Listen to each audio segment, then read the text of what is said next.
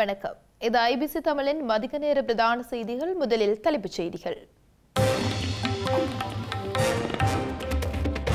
தமிழ் மக்களின் கோரிக்கைகளை ஸ்ரீலங்கா அரசு தொடர்ந்தும் புறக்கணிப்பதாக கூட்டமைப்பு குற்றச்சாட்டு. கொரோனா தொற்று அச்சம் காரணமாக வவுனியா பட்டாணிச்சூர் முடக்கம்.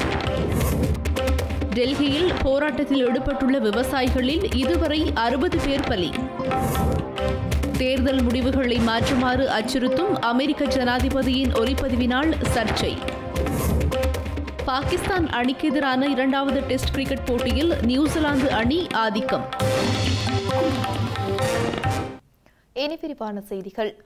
தமிழ் மக்களின் கோரிக்கைகளுக்கு செவிசாய்க்க கூடாது என்கிற ஸ்ரீலங்கா அரசாங்கத்தின் போக்கு அரசியல் கைதிகளின் வெடிக்கத்தில் வெளிப்பட்டு நிற்பதாக தமிழ் தேசிய கூட்டமைப்பு குறிப்பிட்டுள்ளது. ஸ்ரீலங்கா பிரதமர் மகிந்த ராஜபக்ஷவுடன் நாளை இடம்பெறவுள்ள சந்திப்பில் வைத்து அரசியல் கைதிகளின் விடுதலை தொடர்பில் அரசாங்கத்தின் நிலைப்பாட்டை கேட்டறியவுள்ளதாக கூட்டமைப்பின் நாடாளுமன்ற உறுப்பினர் சார்ல்ஸ் நிர்மலநாதன் தெரிவித்துள்ளார். மன்னாரில் வைத்து இன்று ஊடகங்களுக்கு கருத்து வெளியிட்ட அவர் பாரிய குற்றச்சாட்டுகளில் ஈடுபட்ட பலர் பொது மன்னிப்பின் கீழ் விடுதலை செய்யப்பட்டுள்ளதையும் சுட்டிக்காட்டியுள்ளார். இன்று வரை அரசியல் கைதிகளுடைய விடுதலை தொடர்பாக ஒரு அரசாங்கம் ஆக்கபூர்வமான செயல்பாட்டை இன்று வரை செய்யவில்லை என்பது எனது கருத்தாக இருக்கிறது. அதே நேரத்தில் ஒரு பௌத்த மதகுரு அதே போன்று சற்று புது ஜனாதிபதி தெரிவு செய்யப்பட்ட பிற்பாடு மிரிசுவலி மிரிசுவில் பொதுமக்களை கொலை செய்த ஒரு ராணுவ வீரர் தற்பொழுது ஆயுதங்களோடு பிடிபட்ட ஒரு பௌத்த மத மதகுரு ஆயுள் தண்டனை விதிக்கப்பட்ட ஒரு பௌத்த மதகுருவை தற்போதைய ஜனாதிபதி கோட்டபாய ராஜபக்ச அவர்கள் பொதுமன்னிப்பு வழங்கி அவர்களை விடுதலை இருக்கிறார் அவர் அப்படியான ஒரு சூழ்நிலையில் இன்று சிறைச்சாலைகளில் கோவிட் நைன்டீன் தொற்று மிக வேகமாக பரவி வருகிறது. அவர்களுடைய உயிர்களுக்கு மிகவும் ஆபத்தான சூழ்நிலை இருக்கிறது. இப்படியான சூழ்நிலையில் அரசியல் கைதிகளுடைய விடுதலை தொடர்பாக இன்னும் அரசாங்கம் மௌனம் காப்பது தமிழர்கள் இந்த இலங்கையில் இல்லாமல் அல்ல தமிழர்களுடைய உணர்வுகளை மதிக்காமல் தமிழர்களுடைய எந்த விதமான கோரிக்கைகளையும் செய்யக்கூடாது என்ற ஒரு மனநிலையை ஜனாதிபதி கொண்டிருப்பதாக தெரிகிறது. நாங்கள் அரசியல் கைதிகளுடைய விடுதலை தேர்தலை தொடர்பாக பதினைந்து பாராளுமன்ற உறுப்பினர்கள் மஹிந்த ராஜ பிரதமர் மஹிந்த ராஜபக்ச அவரிடம் எழுத்துமுறம் கோரிக்கொண்டு விட்டிருந்தோம். அது தொடர்பாக நாளை ஆரம்பிக்க இருக்கின்ற பாராளுமன்ற அமர்வுகளின் போது அவரை சந்தித்து அது தொடர்பான என்ன முயற்சிகள் எடுத்து எடுத்திருக்கிறார் என்பதை நாங்கள் கேட்க இருக்கிறோம். அதே நேரத்தில் உண்மையில் இன்றைய சூழ்நிலையில் அரசியல் கைதிகளுடைய விடுதலை என்பது மிகவும் தமிழ் மக்களை பொறுத்தவரையில் அவருடைய குடும்பங்களை பொறுத்தவரையில் மிகவும் ஒரு அவசியமான விடயமாக இருக்கிற காரணத்தினால் அரசாங்க அரசாங்கம் இது தொடர்பான முழுமையான கவனங்கள் செலுத்தி அவர்களை சிறைச்சாலைகளில் இருந்து அவர்களுக்கு புனர்வாழ்வு அளிக்கப்பட்ட அல்லது அவர்களை உடனடியாக புனையில் செல்வதற்கு அரசாங்கம் நடவடிக்கை எடுக்க வேண்டும். தமிழ் மக்களுக்கு உரிமையை பெற்றுக் கொடுக்கும் அதேவேளை அவர்களின் அடிப்படை தேவைகளையும் நிறைவேற்ற வேண்டும் என்பதை போலி தமிழ் தேசியவாதிகள் உணர வேண்டும் என ஈழமக்கள் ஜனநாயக கட்சியின் நாடாளுமன்ற உறுப்பினர் குலசிங்கம் திலீபன் தெரிவித்துள்ளார். வவுனிகா கருப்பனிச்சான் குள மக்களை நேற்று சந்தித்த நாடாளுமன்ற உறுப்பினர் மக்களுக்கு வழங்கிய வாக்குறுதிகளை தாம் நிறைவேற்ற தவறும் பட்சத்தில் எவ்விடத்திலும் தம்மை கேள்விக்குட்படுத்தலாம் என தெரிவித்துள்ளார். உரிமையை பற்றி பேசக்கூடிய பாராளுமன்ற உறுப்பினர்கள் கட்டாயம் உரிமை தேவை. ஆனால் உரிமையை மட்டும் பேசிக்கொண்டு இந்த மக்களுக்கு மலசல கூடம் கூட மலசல கூட வசதி கூட பெற்றுக் கொடுக்க முடியாத ஒரு போலி தமிழ் தேசியவாதிகளை தான் இந்த மக்கள் இது நாள் வரை கண்டு கண்டு ஏமாந்த வண்ணம் இருந்திருக்கின்றனர். அதனால் நான் இந்த மக்களிடம் ஆணித்தனமாக ஆணித்தனமாக ஒரு விடயத்தை முன் வச்சிருக்கிறேன் உங்களோட பிரச்சனையை என்னட்ட கொண்டு வாருங்கள். நான் கௌரவ அமைச்சர் டக்ளஸ் தேவானந்த அவர்கள் ஊடாக உங்களோட பிரச்சனைகளை நான் நிச்சயம் தீர்த்து வைப்பேன். தவறும் பட்சத்தில் நீங்கள் எனது பெயரை குறிப்பிட்டு நீங்கள் ஊடகங்களுக்கு நீங்கள் அறிக்கை கொடுக்கலாம் ஆர்ப்பாட்டம் நடத்தலாம் போராட்டம் நடத்தலாம். இந்த எம்பி வந்தார் இந்த பிரச்சனையை நாங்கள் முன் வச்சோம். செய்து தரேன்ட்டு போனார் ஆனால் செய்து தர இல்லை. நீங்கள் நம்பிக்கையோடு என்னட்ட உங்களோட பிரச்சனையில் முன்வைக்கலாம் என்று சொல்லியிருக்கிறேன். அது மட்டுமல்ல இந்த இந்த மக்களுக்கு குடிநீர் இணைப்பு. பல காலமாக இந்த கிராமத்து குடிநீர் வரத்தின்றி மிகவும் வெயில் காலங்களில் சிரமப்பட்டு கொண்டிருந்தனர். நான் உடனடியாக சம்பந்தப்பட்ட உயர் அதிகாரியை தொடர்பு கொண்டு உடனடியாக அந்த வேலை திட்டம் ஆரம்பிப்பதற்கான வழியை ஏற்பாடு செய்திருக்கிறேன். அதுவும் தவறும் பட்சத்தில் நீங்கள் எனக்கு எதிராக போராட்டம் செய்யலாம். மாகாண சபை தேர்தல் விரைவாக நடக்கணும் நடக்க வேண்டும் என்பதுதான் என- எமது கட்சியின் நிலைப்பாடு. அந்த மாகாண சபை தேர்தலில் கௌரவ டக்ளஸ் தேவானந்தா அவர்களை பலப்படுத்தும் பட்சத்தில் தான் எங்களோட வடமாகாணம் வளமாக வளமான மாகாணமாக வரும் என்பதில் எந்த மாற்று கருத்தும் இல்லை. அவர்கள் அவர்களது கருத்தை தான் தெரிவிக்கிறார்களே ஒழிய அது முடிவு என்பது அல்ல. பெரும்பான்மை வைக்கக்கூடிய இந்த அரசாங்கத்தில் ஒரு முக்கிய பதவியில் இருக்கக்கூடிய எங்களோட அமைச்சர் கூட விரும்புகிறது தான் இந்த மாகாண சபை தேர்தலை நடத்த வேண்டும் என்று. பவனிகா பட்டானிக்ஷூர் பகுதியில் கொரோனா தொற்றாளர்கள் இருவர் அடையாளம் காணப்பட்ட நிலையில் குறித்த பகுதி முற்றாக முடக்கப்பட்டுள்ளது. முதலாம் ஒழுங்கை முதல் ஐந்தாம் ஒழுங்கை வரை அனைத்து பகுதிகளும் முடக்கப்பட்டுள்ளன. வவுனிகா பட்டானிக் சூரில் வசித்த இருவருக்கு கொரோனா தொற்று உறுதி செய்யப்பட்டுள்ளது. கர்ப்பிணி பெண் ஒருவருக்கும் கிளிநொச்சி பொறியியல் பீட மாணவன் ஒருவருக்கும் கொரோனா தொற்று உறுதி செய்யப்பட்டுள்ளது. இதனை அடுத்து வவுனிகா பட்டானிக்சூர் முடக்கப்பட்ட நிலையில் அங்கிருந்து எவரும் வெளியேற அனுமதிக்கப்படாத நிலையில் காவல்துறையினர் கடமையில் ஈடுபட்டுள்ளனர். இந்நிலையில் வவுனிகா நகர் பகுதியில் உள்ள பல வர்த்தக நிலையத்தில் கடமையாற்றுபவர்கள் மற்றும் வர்த்தக நிலைய உரிமையாளர்கள் குறித்த பகுதியிலேயே வசித்து வருகின்றனர். குறித்த பகுதியிலிருந்து வருகை தந்து வர்த்தகத்தில் ஈடுபடுபவர்களை வர்த்தக நிலையங்களை மூடுமாறு சுகாதார பணியினரால் உத்தரவு பிறப்பிக்கப்பட்டுள்ளது. எனினும் குறித்த அறிவுறுத்தல் செவிமடுக்கப்படாத நிலையில் வவுனிகா நகர் பகுதியில் அனைத்து வர்த்தக நிலையங்களும் திறக்கப்பட்டுள்ளன. வவுனிகா நகர் பகுதியிலும் அதிகளவானோர் நடமாடி வருவதனால் வவுனிகாவில் அதிகளவானோர் கொரோனா தொற்றுக்கு உள்ளாவார்கள் என அச்சம் வெளியிடப்பட்டுள்ளது. மேலும் ஆன்ட்ரியன் பரிசோதனையில் கர்ப்பிணி பெண் ஒருவர் கொரோனா தொற்றாளராக அடையாளம் காணப்பட்ட நிலையில் வவுனிகா வேப்பங்குளத்தின் சில பகுதிகள் போலீசாரால் முடக்கப்பட்டுள்ளன. வவுனிகா வேப்பங்குளம் முதலாம் ஒழுங்கையில் வசித்த கர்ப்பிணி பெண் ஒருவர் வவுனிகா வைத்தியசாலையில் அனுமதிக்கப்பட்ட நிலையில் அவருக்கு ஆன்டியன் பரிசோதனை நேற்று முன்னெடுக்கப்பட்டது. அதில் கொரோனா தொற்று உள்ளமை கண்டறியப்பட்டுள்ளது. இதனை அடுத்து குறித்த பெண்ணின் இருப்பிடமான வவுனிகா வேப்பங்குளம் முதலாம் ஒழுங்கை மற்றும் இரண்டு மூன்று நான்கு ஐந்தாம் ஒழுங்கை பகுதிகள் போலீசாரால் தற்காலிகமாக முடக்கப்பட்டுள்ளதுடன் போலீசார் பாதுகாப்பு கடமைகளில் ஈடுபட்டு வருகின்றனர். வாழைச்சேனி போலீஸ் பிரிவில் கொரோனா வைரஸ் தாக்கம் ஏற்பட்டுள்ள நிலையில் பொதுமக்களின் பாதுகாப்பு குறித்து அவசர உயர்மட்ட கலந்துரையாடல் இன்று திங்கட்கிழமை வாழைச்சேனி பிரதேச சபை கேட்போர் கூட்டத்தில் இடம்பெற்றது. கடந்த வெள்ளிக்கிழமை வாழைச்சேனை சுகாதார பிரிவில் காத்தான்குடியுடன் தொடர்புபட்ட வர்த்தகர்களுக்கு மேற்கொள்ளப்பட்ட பிசிஆர் பரிசோதனை மூலம் வாழைச்சேனை பிரதான சந்தையில் வியாபாரத்தில் ஈடுபட்டு வந்த மூன்று வர்த்தகர்களுக்கு கொரோனா தொற்று உறுதி செய்யப்பட்ட நிலையில் குறித்த வியாபார நிலையம் மூடப்பட்டுள்ளது.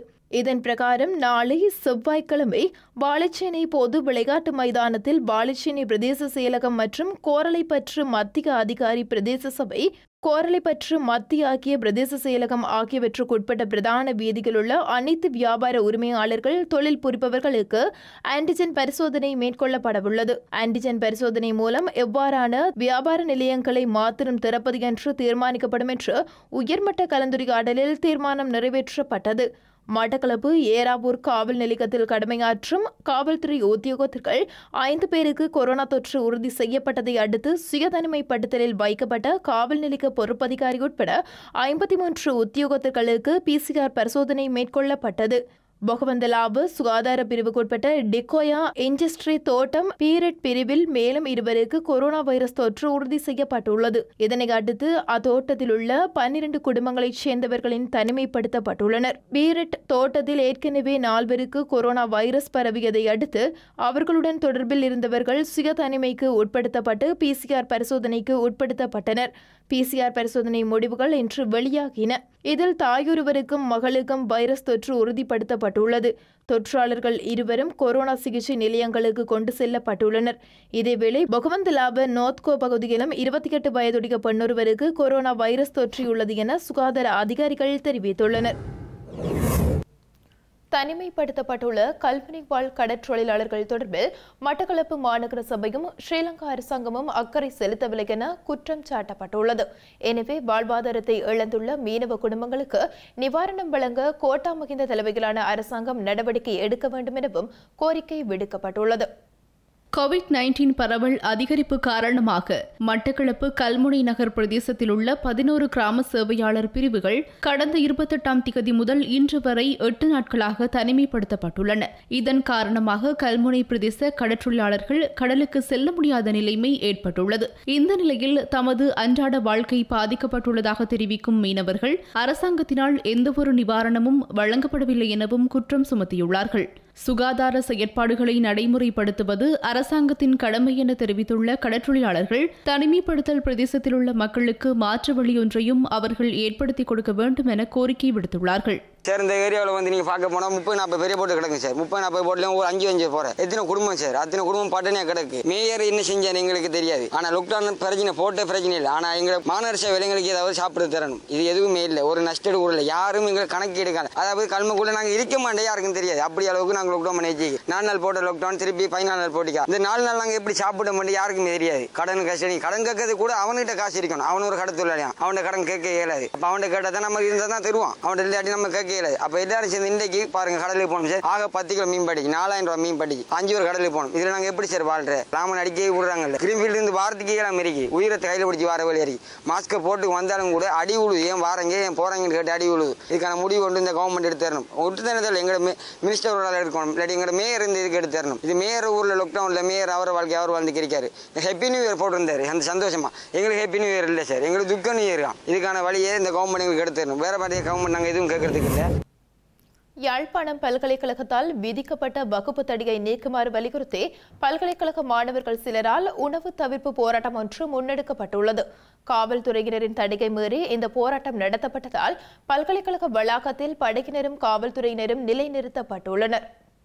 யாழ்ப்பாணம் பல்கலைக்கழகத்தில் கடந்த அக்டோபர் மாதம் எட்டாம் திகதி கலைப்பீட இரண்டாம் வருட மாணவர்களுக்கும் மூன்றாம் வருட மாணவர்களுக்கும் இடையில் ஏற்பட்ட முருகல் நிலை கைகலப்பில் முடிந்தது. இந்த சம்பவத்தோடு தொடர்புபட்ட மாணவர்களுக்கு தடை விதிக்கப்பட்டுள்ள நிலையில் தமக்கு விதிக்கப்பட்ட வகுப்பு தடையை விலக்கிக் கொள்ளுமாறு வலியுறுத்தி மாணவர்கள் இன்றைய தினம் உணவு தவிர்ப்பு போராட்டத்தில் ஈடுபட்டுள்ளார்கள். இந்த உணவு தவிர்ப்பு போராட்டம் யாழ்ப்பாணம் பல்கலைக்கழக பரமேஸ்வரர் ஆலய நுழைவாயிலில் முன்னெடுக்கப்பட்டுள்ளது. சம்பவ இடத்திற்கு வருகை தந்த கோப்பாய் காவல்துறையினர் போராட்டத்தை கைவிடுமாறும் இந்த விடயத்தை உயர் அதிகாரிகளின் கவனத்திற்கு தெரியப்படுத்துமாறும் மாணவர்களிடம் கேட்டுக் கொண்டுள்ளார்கள். காவல்துறையினரின் கருத்துக்களை ஏற்றுக்கொள்ளாத மாணவர்கள் தொடர்ந்தும் தமது போராட்டத்தை முன்னெடுத்துள்ளார்கள். கோவிட் நைன்டீன் அச்சுறுத்தல் காரணமாக சுகாதார நடைமுறைகளை பின்பற்றி சமூக இடைவெளியோடு மாணவர்கள் போராட்டத்தில் ஈடுபட்டுள்ளார்கள். இதேவேளை பேரவையில் ஆராயப்பட்ட விடயங்களை பகிரங்கப்படுத்தியதன் மூலம் தமக்கு அநீதி இழைக்கப்பட்டுள்ளதாக மாணவர் தரப்பில் குற்றச்சாட்டு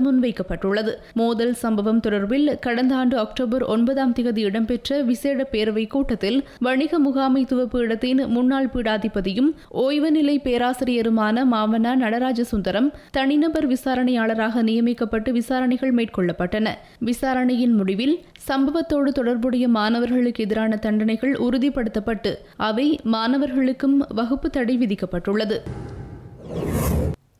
யாழ்ப்பாணம் மாநகர முதல்வருக்கும் இந்திய துணை தூதரகத்தின் மூத்த அதிகாரிக்கும் இடையில் சந்திப்பொன்று இடம்பெற்றுள்ளது. இந்த சந்திப்பில் வடமாகாண சபையின் அவைத்தலைவர் சி வி கே சிவஞானமும் பங்கு பெற்றிருந்தார். யாழ்ப்பாண மாநகர முதல்வராக புதிதாக தெரிவு செய்யப்பட்ட சட்டத்தரணி விஸ்வலிங்கம் மணிவண்ணனுக்கும் இந்திய துணை தூதரக அதிகாரியுமான கிருஷ்ணமூர்த்திக்கும் இடையில் இந்த விசேட சந்திப்பானது இன்றைய தினம் நடைபெற்றது. வடமாகாண ஆளுநர் அலுவலகத்தில் இந்த சந்திப்பு இடம்பெற்றதாக எமது பிராந்திய செய்தியாளர் தெரிவித்தார். எனினும் இந்த சந்திப்பின் போது பேசப்பட்ட விடயங்கள் குறித்த தகவல்கள் எதுவும் வெளிவரவில்லை என்பது குறிப்பிடத்தக்கது. முன்னாள் பிரதியமைச்சர் கருணா என அழைக்கப்படும் விநாயகமூர்த்தி முரளிதரனை கூறிய ஆயுதத்துடன் சந்திக்க சென்ற நபரொருவர் கைது செய்யப்பட்டுள்ளார். இவர் நேற்றைய தினம் முரசுமோட்டை பகுதியில் வைத்து கைது செய்யப்பட்டுள்ளதாக கிளிநொச்சி காவல்துறையினர் தெரிவித்துள்ளனர்.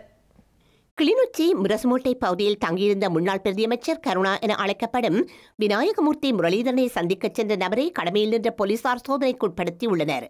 இதன்போது அவரிடமிருந்து கூறிய ஆயுதங்கள் மீட்கப்பட்டுள்ளதாக காவல்துறையினர் தெரிவித்துள்ளனர். குறித்த நபர் கைது செய்யப்பட்ட நிலையில் விசாரணைகள் இடம்பெற்று வருவதாக காவல்துறையினர் குறிப்பிடுகின்றனர். குறித்த கத்தி மற்றும் அரிவாள் ஆகியவற்றை வயலிற்கு பசலை இடுவதற்காக எடுத்துச் சென்றதாகவும் வயலிலிருந்து திரும்பும்போது கருணாவை சந்தித்துச் செல்ல சென்றதாகவும் சந்தேக நபர் குறிப்பிட்டுள்ளார். சம்பவம் தொடர்பான விசாரணைகள் தொடர்ந்தும் இடம்பெற்று வருகின்றன. அத்துடன் மட்டக்களப்பு வாழைச்சேனை முல்லைநகர் வீதியில் கைவிடப்பட்ட நிலையில் காணப்பட்ட கிளைமோர் ரக வெடிபொருள் ஒன்றினை காவல்துறையினர் இன்று மீட்டுள்ளனர். வீதியில் மர்மப்பொருள் ஒன்று கிடப்பதாக காவல்துறையினருக்கு கிடைத்த ரகசிய தகவலை அடுத்து அங்கு சென்ற காவல்துறையினர் வெடிபொருளை மீட்டுள்ளனர். அதேவேளை மட்டக்களப்பு கரடியனாறு போலீஸ் பிரிவிற்குட்பட்ட சின்ன புல்லுமலை பகுதியில் வீடு ஒன்றில் மறைத்து வைக்கப்பட்டிருந்த பெருமளவான வெடிபொருட்கள் நேற்று மீட்கப்பட்டுள்ளன. மட்டக்களப்பு மாவட்ட காவல்துறை புலனாய்வு பிரிவுக்கு கிடைக்கப்பெற்ற தகவலின் அடிப்படையில் மட்டக்களப்பு மாவட்ட விசேட குற்றத்தடுப்பு விசாரணை பிரிவினால் இந்த வெடிபொருட்கள் மீட்கப்பட்டுள்ளன. குறித்த வீட்டிலிருந்து ஜெனி டெட்டனேட்டர்கள் எழுநூற்றி இருபத்தொன்பது குச்சிகளும் அமோனியம் நைட்ரேட் இருபத்தைந்து கிலோ நிறையுடைய இருபத்தி நான்கு பைகள் வெடிபொருட்களுக்கான நூற்றி எழுபத்தி எட்டு வயர் ரோல்கள் நூற்று ஐந்து அலுமினியம் குச்சிகள் முப்பத்தி ஒரு வெடி என்பன இதன்போது மீட்கப்பட்டுள்ளன. இது தொடர்பில் ஒருவர் கைது செய்யப்பட்டுள்ளதுடன் இதனுடன் தொடர்புபட்ட ஏனையவர்களை கைது செய்வதற்கான நடவடிக்கைகள் முன்னெடுக்கப்பட்டுள்ளதாக காவல்துறையினர் தெரிவித்தனர். இவை எதற்காக இங்கு கொண்டுவரப்பட்டு வைக்கப்பட்டுள்ளன என்பது தொடர்பான விசாரணைகள் முன்னெடுக்கப்பட்டுள்ளதாகவும் காவல்துறையினர் தெரிவித்தனர். மட்டக்களப்பில் ஹெரோயின் கடத்திய இருவர் கைது செய்யப்பட்டுள்ளனர். இவர்கள் நேற்றிரவு கைது செய்யப்பட்டுள்ளதாக மட்டக்களப்பு மாவட்ட குற்ற விசாரணை பிரிவு பொறுப்பதிகாரி பண்டார தெரிவித்துள்ளார். மட்டக்களப்பில் சுமார் மூன்று லட்சம் ரூபாய் பெறுமதியான ஹெரோயின் போதைப் பொருளை கடத்திய இருவரே கைது செய்யப்பட்டுள்ளார்கள். ஒருவரிடமிருந்து பத்தொன்பது கிராம் மற்றும் இருபது மில்லிகிராம் ஹெரோயினும் மற்றவரிடமிருந்து இரண்டு கிராம் ஹெரோயினும் கைப்பற்றப்பட்டுள்ளன. அத்துடன் போதைப் பொருள் கடத்தலுக்கு பயன்படுத்தப்பட்ட இரண்டு முச்சக்கர வண்டிகளும் பறிமுதல் செய்யப்பட்டுள்ளன. செங்கலடி பகுதியைச் சேர்ந்த சந்தேக நபர்கள் இருவரும் தாம் செலுத்தி வந்த முச்சக்கர வண்டிகளை போலீசாரை கண்டு திருப்பிக் கொண்டு செல்ல முற்பட்டுள்ளார்கள். இதனால் சந்தேகமடைந்த போலீசார் முச்சக்கர வண்டிகளை சோதனையிட்ட போதே போதைப் பொருட்கள் கைப்பற்றப்பட்டுள்ளன. கைது செய்யப்பட்ட நபர்கள் மட்டக்களப்பு தலைமையக போலீசினூடாக மட்டக்களப்பு நீதவான் நீதிமன்றில் முன்னிலைப்படுத்தப்பட உள்ளார்கள் டெல்லி போராட்டத்தில் ஈடுபட்டுள்ள விவசாயிகளில் இதுவரை அறுபது பேர் உயிரிழந்துள்ள நிலையில் இதற்கு அரசாங்கம் பதில் சொல்ல வேண்டும் என விவசாய சங்க பிரதிநிதிகள் தெரிவித்துள்ளனர். இந்நிலையில் விவசாய சங்கங்களுக்கும் மத்திய அரசுக்கும் இடையே இன்று ஏழாம் கட்ட பேச்சுவார்த்தை நடைபெற்றுள்ளது. மத்திய அரசு கொண்டு வந்துள்ள மூன்று புதிய வேளாண் சட்டங்களை திரும்ப பெற வலியுறுத்தி பஞ்சாப் ஹரியானா உள்பட பல்வேறு மாநில விவசாயிகள் டெல்லி எல்லைகளில் போராட்டம் நடத்தி வருகின்றனர். அவர்களின் போராட்டம் இன்று நாற்பதாவது நாளை எட்டியுள்ளது.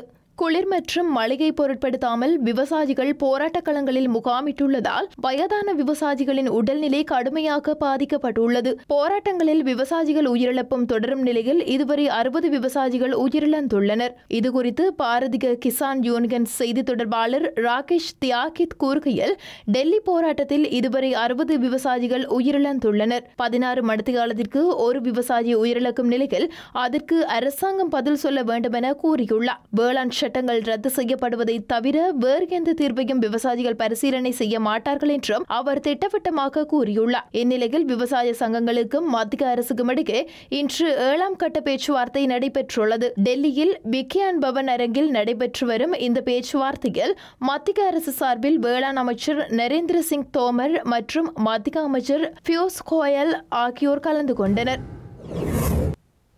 அமெரிக்க ஜனாதிபதி தேர்தல் முடிவுகளை மாற்றுமாறு தேர்தல் அதிகாரிகளை ஜனாதிபதி டொனால்ட் ட்ரம்ப் அச்சுறுத்தியுள்ளமை தொடர்பான ஒலிப்பதிவு வெளியாகி சர்ச்சையை ஏற்படுத்தியுள்ளது.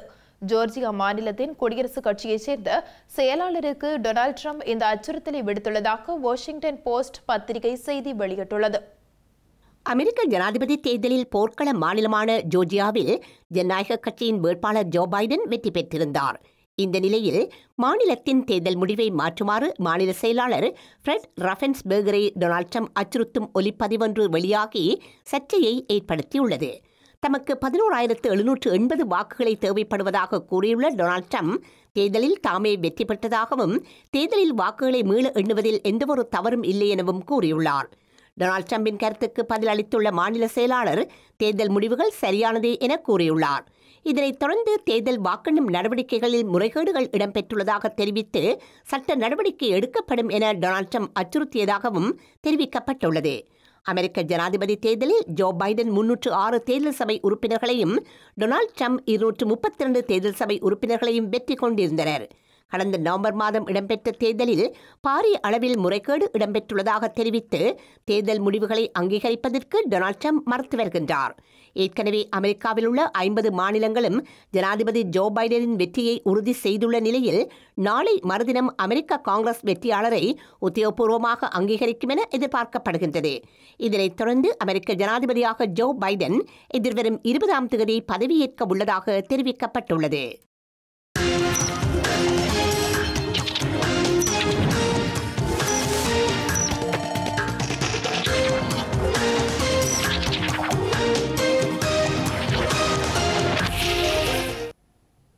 அடுத்து இன்றைய நாளுக்கான நாணய மாற்று விகிதம்.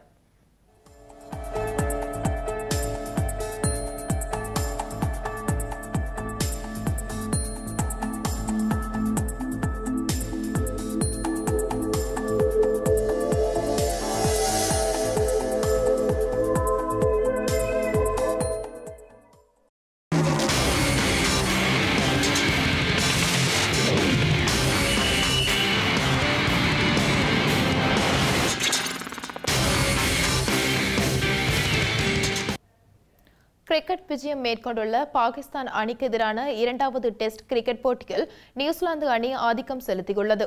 இந்த போட்டியில் தனது முதல் இன்னிங்ஸில் துடுப்படுத்தாடும் நியூசிலாந்து அணி சார்பில் அணித்தலைவர் கேன் வில்லிகம்சன் ஆட்டமிழக்காமல் சதத்தை பெற்றுள்ளார். பாகிஸ்தான் மற்றும் நியூசிலாந்து அணிகளுக்கு இடையிலான இரண்டாவது டெஸ்ட் கிரிக்கெட் போட்டி கிரைசர்ஸில் நடைபெற்று வருகின்றது. இந்த போட்டியில் தனது முதல் இன்னிங்ஸில் துடுப்படுத்தாடிய பாகிஸ்தான் அணி இருநூற்று தொன்னூற்றேழு ஓட்டங்களுக்கு அனைத்து விக்கெட்டுகளையும் இழந்தது. அதிகபட்சமாக அசார் அலி தொன்னூற்று மூன்று ஓட்டங்களையும் முகமது ரிஸ்வான் அறுபத்தி ஒரு ஓட்டங்களையும் பெற்றதுடன் கேல் ஜெமிஷன் ஐந்து விக்கெட்டுகளை கைப்பற்றினார். இதனைத் தொடர்ந்து தனது முதல் இன்னிங்ஸில் துருப்படுத்தாட ஆரம்பித்த நியூசிலாந்து அணி இன்றைய இரண்டாம் நாள் ஆட்ட நேர நிறைவில் மூன்று விக்கெட்டுகளை மாத்திரம் இழந்து இருநூற்று எண்பத்தி ஆறு ஓட்டங்களை பெற்றது. அணித்தலைவர் கேன் வில்லியம்சன் நூற்று பன்னிரண்டு ஓட்டங்களையும் ஹென்ரி நிக்கோலஸ் எண்பத்தி ஒன்பது ஓட்டங்களையும் பெற்றதுடன் ஷாஹின்சா அப்ரிடி முகமது அபாஸ் மற்றும் ஃபாஹிம் அஸ்ரப் ஆகியோர் தலா ஒரு விக்கெட்டை கைப்பற்றினர். போட்டியின் மூன்றாம் நாள் ஆட்டம் நாளை தொடரவுள்ளது. செய்திகளின் நிறைவாக மீண்டும் தலைப்புச் செய்திகள். தமிழ் மக்களின் கோரிக்கைகளை ஸ்ரீலங்கா அரசு தொடர்ந்தும் புறக்கணிப்பதாக கூட்டமைப்பு குற்றச்சாட்டு. கொரோனா தொற்று அச்சம் காரணமாக வவுனியா பட்டாணிச்சூர் முடக்கம். டெல்லியில் போராட்டத்தில் ஈடுபட்டுள்ள விவசாயிகளில் இதுவரை அறுபது பேர் பலி. தேர்தல் முடிவுகளை மாற்றுமாறு அச்சுறுத்தும் அமெரிக்க ஜனாதிபதியின் ஒலிப்பதிவினால் சர்ச்சை. பாகிஸ்தான் அணிக்கு எதிரான இரண்டாவது டெஸ்ட் கிரிக்கெட் போட்டியில் நியூசிலாந்து அணி ஆதிக்கம். இத்துடன் ஐபிசி தமிழ் தொலைக்காட்சியின் மதிய நேர செய்திகள் நிறைவு பெற்றன. உடனுக்குடன் செய்திகளை அறிந்து கொள்ள ஐபிசி தமிழ் டாட் காம் என்ற எமது இணையதளத்தை பார்வையிடுங்கள். வணக்கம்.